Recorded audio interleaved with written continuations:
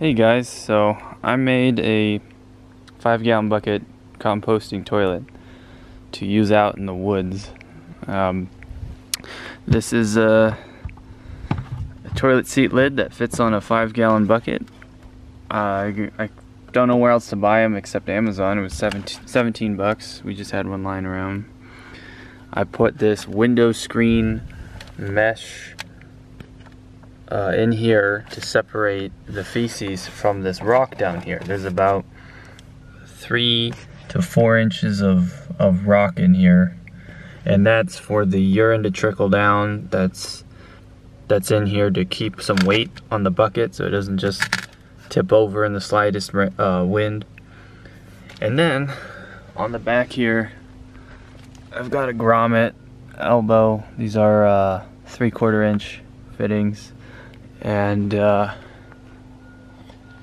it just drains the urine out because I've noticed a lot of composting uh, toilets. People spend all this money to buy composting toilets, and then $400 later, you find out that you have to empty the urine every two or three days, depending on how many people are using it. So I don't like the sound of that at all.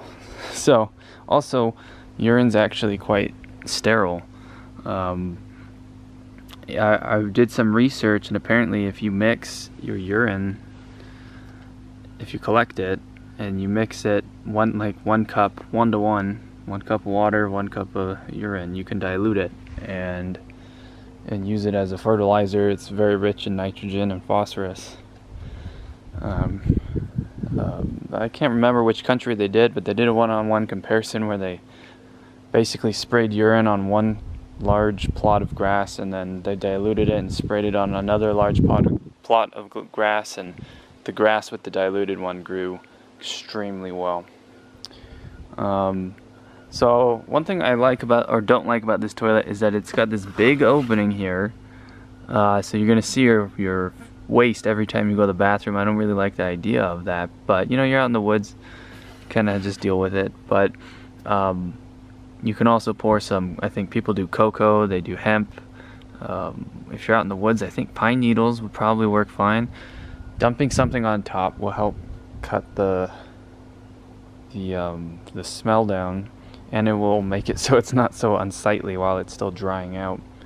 Um, and then eventually, when it gets full or fuller, you can dump the feces and compost it. So I mean, it'll be somewhat composting in here. I was thinking about spray painting the, the bucket black, make it hotter. So maybe once you put some composting bacteria in here and then it'll, it'll be kind of like its own composter over time, depending on how often I use it. Um, but it's pretty nice. I mean, you take the urine, you dilute it, you compost the feces, and then you grow all your plants with it. I mean, your food is coming full circle.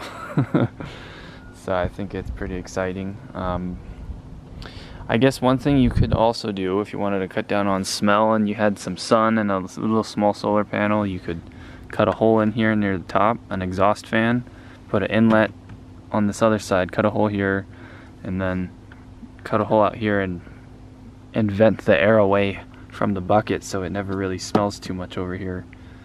Um, but I wouldn't do that because this is a five gallon bucket. It's not the strongest thing.